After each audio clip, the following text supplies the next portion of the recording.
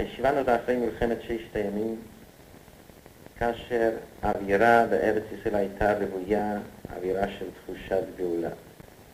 האווירה הייתה ספוגה, אווירה של התעוררות רוחנית.